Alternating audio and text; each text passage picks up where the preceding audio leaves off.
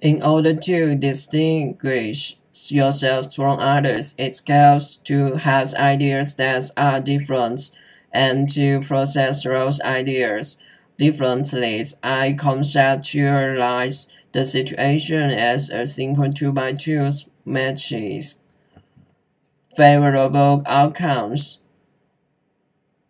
with conventional behaviors, average good results, favorable outcomes with unconventional behaviors above average results, unfavorable outcomes with conventional behaviors, average bad results, unfavorable outcomes with unconventional behavior, below average results.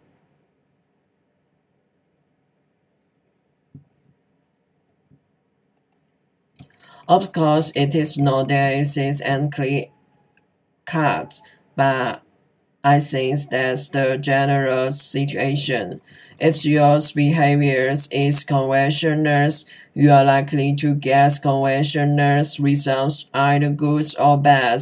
Only if your behavior is unconventional is your performance likely to be unconventional, and only if your judgments are superior is your performance likely to be above average.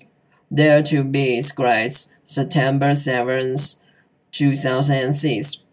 The upshot is simple. To achieve superior investment results, you have to have non-consensus views regarding values, and they have to be accurate. That's not easy. The attractiveness of buying something is less than its worth makes in sense. So how is one to find bargains?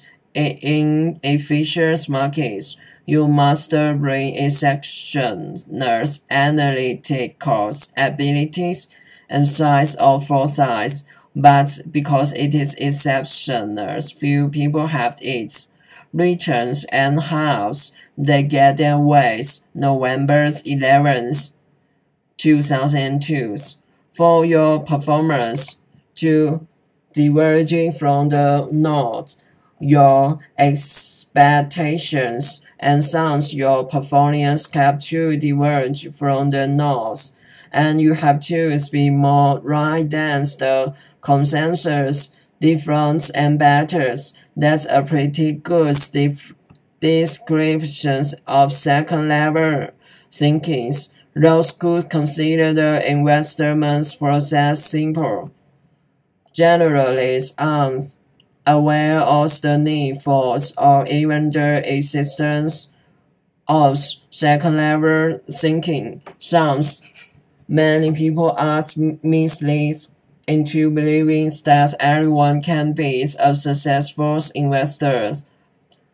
Not everyone can, but the good news is that the prevalence of first-level thinkers increases the returns available to second-level thinkers. To consistently achieve superior investment returns, you must be one of them.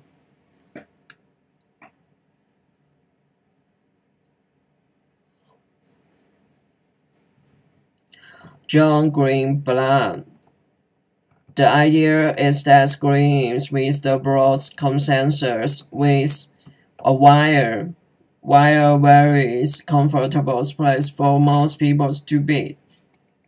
It's not generally where above average profits are found.